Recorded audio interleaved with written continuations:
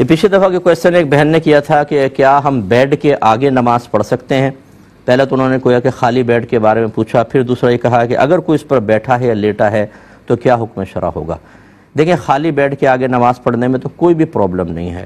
اگر کوئی شخص بیٹھا ہے تو پھر یہ دیکھیں گے کہ اس کا رخ آپ کی طرف ہے یا اس کی پیٹھ آپ کی طرف ہے۔ اگر تو پیٹھ آپ کی طرف ہے اور آپ کو امید نہیں ہے کہ آگے وہ آپ کا، آپ کی طرف رخ کرے گا، جیسے بعض بوڑھے ہوتے ہیں بیمار ہوتے ہیں، وہ بیٹھے ہوئے ہیں، تو آپ نے کبھی ادھر کو منہ نہیں کرنا، میں نماز پڑھ رہی ہوں۔ تو پھر بھی بالکل ٹھیک ہے۔ اس طرح اگر کوئی لیٹا ہے اور اس کو کروٹ آپ کی طرح یعنی اس کی پیٹھ آپ کی طرف ہے، اس نے کروٹ لی ہوئی ہے، رخ دوسری طرف ہے، تب بھی صحیح ہے۔ لیکن اگر ان کے رخ آپ کی طرف ہیں، تو جاگے ہوئے آدمی کا رخ آپ کی طرف ہو، تو زیادہ اس میں کراہت ہے۔ کیونکہ لازم بات ہے، جب وہ یوں آپ کی طرف دیکھ رہا ہے، تو پھر آپ کو ریاکاری بھی پیدا ہوگی اور تکلف پیدا ہوگا۔ تو یہ تو شرن جائز نہیں ہوگا مقصق مقروع ہوگا، آپ کو سائڈ میں پڑھنی چاہیے۔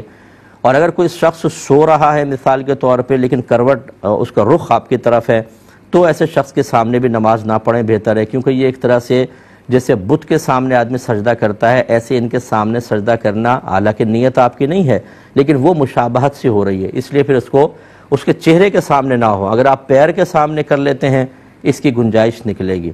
تو خلاصے کہ یہ ہے کہ سب سے افضل اور اولا یہ ہے، خالی بیڈ ہو تو کوئی مسئلہ نہیں، اگر کوئی لیٹا ہے یا بیٹھا ہے تو آپ سائیڈ میں پڑھیں یہ سب سے بہتر صورتحال ہے۔